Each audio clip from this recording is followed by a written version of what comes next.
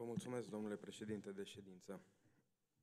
Declarația mea politică de astăzi se intitulează Măsuri preventive la cutremur. Cu toții am văzut zilele trecute consecințele devastatoare ale cutremurilor din Turcia și Siria.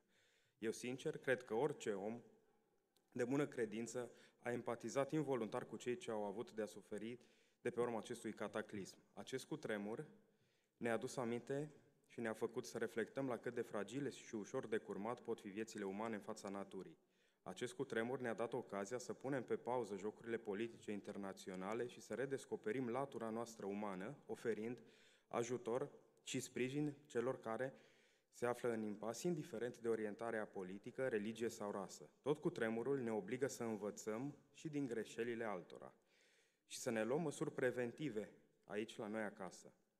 Nu putem prezice și nici opri un astfel de cataclism, dar putem diminua consecințele lui prin a evalua starea și gradul de rezistență la seism al clădirilor, precum și instruirea populației despre modul de a acționa în caz de cutremur.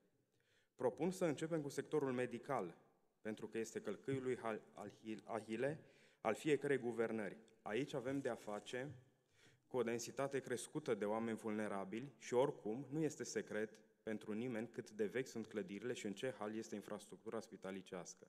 Deci propun evaluarea gradelor de risc ale clădirilor din sectorul medical, clasificarea acestora în funcție de riscul de seism și instruirea personalului medical după modul de acționare în caz de cutremur.